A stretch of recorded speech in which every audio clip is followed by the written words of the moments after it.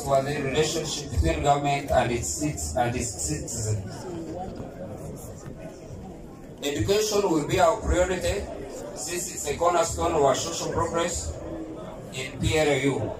By proposing and advocating reforms in the education sector, we aim to improve success, quality, and, and relevance, fostering a trustworthy. Disregard the unique natural and social harmony that makes Uganda.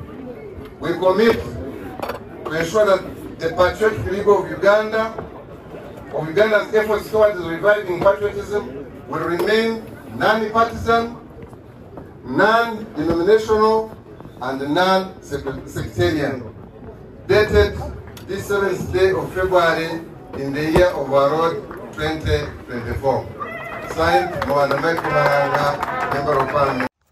Nkwaniriza na tego mukwano gwaffe atugoberera era nga nkujjukiza nti subscribe updates okuva mu ggwanga erya uganda mu kibuga ekikulu kampala mk movement olwedde bakyusiza erinnya kati be ba patriotic league of uganda. Era olunaku olwaleero boogedde ku plans zaabwe ez'emyaka egijja naddala omwaka gw'2026 nga general mk wakwesimbawo okubwa pulezidenti abantu ab'enjawulo babadde ku mukolo guno ogw'okulaunchinga patriotic league of uganda era kwabaddeko cabinet ministers kwabaddeko bano bawagizi ba general muhozi guno gwabadde kampala suburb. Bagambye nti we the mk movement hereby constitute ourselves into a civic organization and assume and adopt a new name and identity, the Patriotic League of Uganda, with the aim of working towards reviving in Ugandans a spirit of good citizenship, national pride, national service, protection of uh, vulnerable persons, combating corruption and wastage of public resources, and protecting of the environment.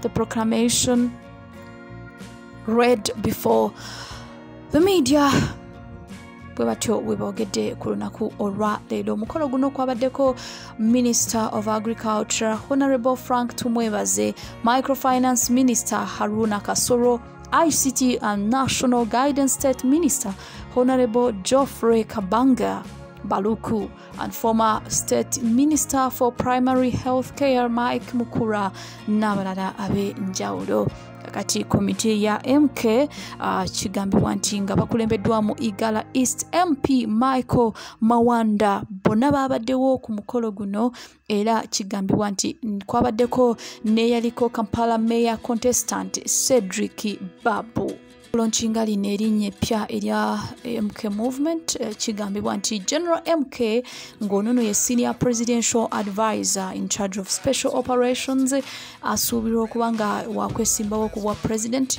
mu mwaka gw'2026 era general mk ono nga ye first son mutabani w'omukulu president afuga eggwanga lino erya uganda. His excellency uh, general yoweri kaguta museveni nga omukulu ono general mk wakwesimbawo ku bwa president. Okulonkinga erinnya lyabwe lino erya patriotic league of uganda kyakubasobozesa okuba nga bakampeininga mpaka omwaka gw'2026 didas muhindo ono nga alina emyaka 25 nga university graduate naye yabaddeyo ku mukolo guno era omukulu ono yagambye nti patriotic league of uganda eze mu kaseera nga beetaaga enkyukakyuka mu ggwanga lino erya uganda. Era yagambye nti bintu bingi ebikoleddwa mu bukyamu bintu bingi abakulu ababadde mu gavumenti bye basobya kakati. General mk wakubanga wakukyusa embe wakukyusa eggwanga lino erya uganda jean kaluhinda 33 years old teacher. Yavuddeyo n'agamba nti yavudde ekisolo mpaka mu kampala ng'ekimuleese kwe kubeera ku mukolo guno. Ogw'okuba nga general muhoozi ne patriotic league of uganda bakola ekintu ekyamaanyi mu ggwanga lino erya uganda general muhozi ku mukolo guno teyabaddeko era omukulu ono uh, kigambibwa nti alagira ddala nti alina ebigendererwa ebyokwesimbawo ku bwa pulezidenti mwaka 2026 era general muhozi kaine rugaba nga wetwogera presidential candidate ng'ono wakwesimbawo uh, oluvannyuma lwa pulezidenti yoweri kaguta museveni okusapootinga mutabani we. N'agamba nti kati amulabira ddala nga asaanidde okufuga eggwanga lino erya uganda Stay tuned and don't forget to subscribe.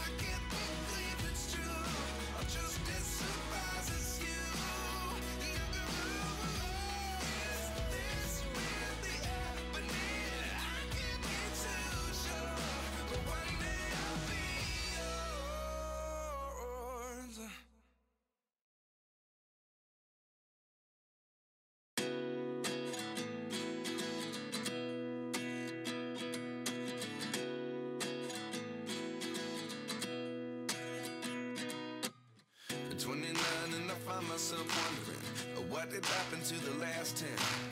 I ran away with my life, fast forward, never turn back again. It's kind of funny that the more we pass time, the more we need to set them rewind.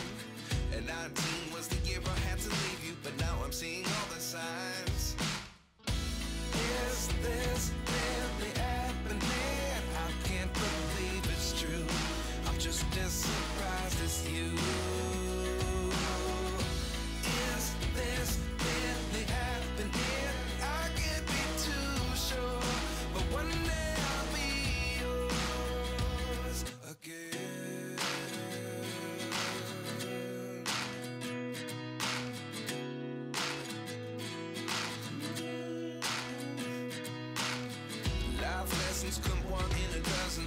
The other eleven get something from nothing. I sit here looking for an answer. Maybe the biggest question was in the last chapter. You gave me the soul I have today. Without you, I never could have moved away. But now I seek what you teach. I do believe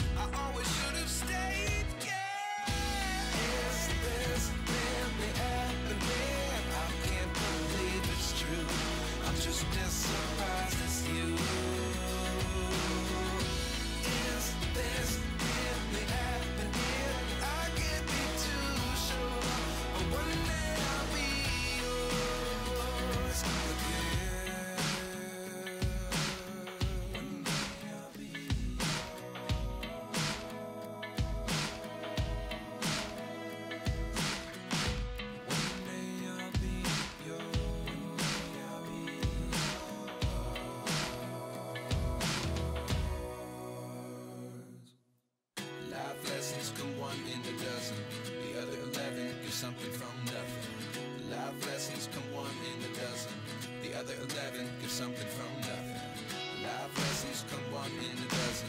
The other eleven get something from nothing. Life changes just open the door. One thing's certain, I'll always be yours.